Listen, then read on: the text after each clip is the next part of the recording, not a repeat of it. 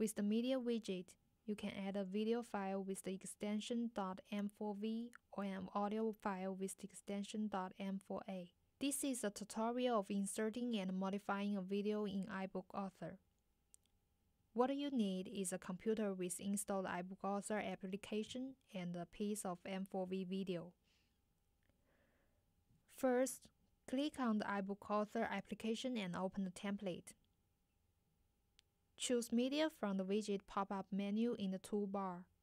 A small browser will pop up and the media template will be automatically embedded in the current page you are working on. Then drag the video from the Finder or the media browser to the widget. To preview the video, you can click on the play button. In the Interaction section in Widget Inspector, you can start or stop playback at a specific point by dragging the Start and Stop slider.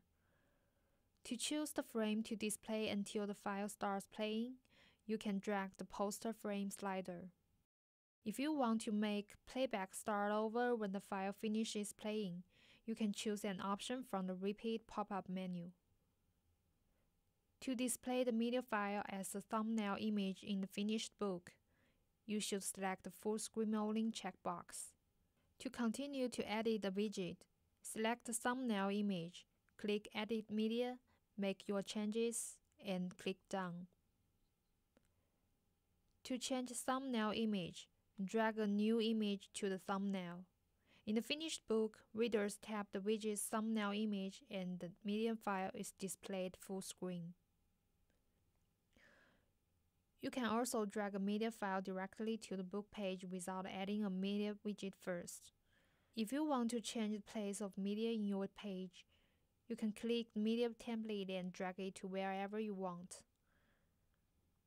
You can also change the size of your video. When you click on the media template, you will see eight little squares surrounding the inserted media. Click any one of the squares and drag it to a different direction. You can change the size as you like.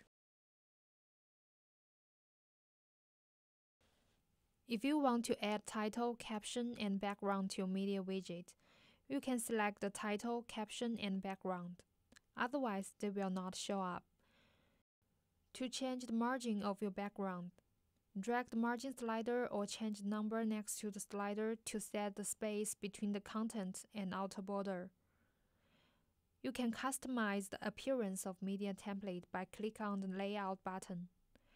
There are three types of layout. By clicking on the top button, you can put the title above your video and caption below your video. By clicking on the bottom, both of your title and caption will below your video.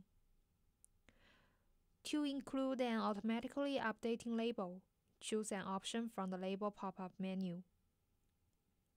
You can add an accessibility description to the media in your book. When the book is viewed on an iPad, VoiceOver reads the object's accessibility description aloud. If you don't provide a description, VoiceOver reads the object's default description. That's how to insert and modify media in your iBook.